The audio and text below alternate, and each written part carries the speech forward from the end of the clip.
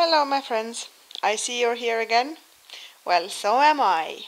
And it's time to do two more scratchers again. And I have gone for Old Cash Tripler as you can see. Two of the three euro cards. Chances are one in four wins cash.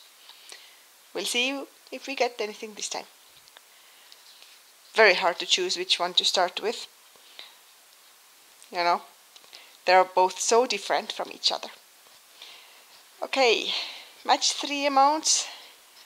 Don't forget to keep your fingers crossed because I can't. I'm busy scratching. Mm, there's two 15s. Might get lucky. Nope, might, but didn't. Okay. 10 and 9. 9 and 10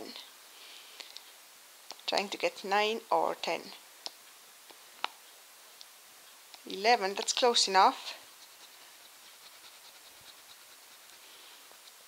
Well, that should be other way around, not 0, 1, but 1, 0. And 16, not in this one. Okay, second ticket, hopefully luckier, 1, 2. Weirdly enough, the tickets are very hard to scratch this time. I wonder if they've gotten wet at some point or something. Usually they are so easy to scratch. Or maybe maybe my uh, coin is starting to wear out. Let's try the other side. So two 45s, two 15s.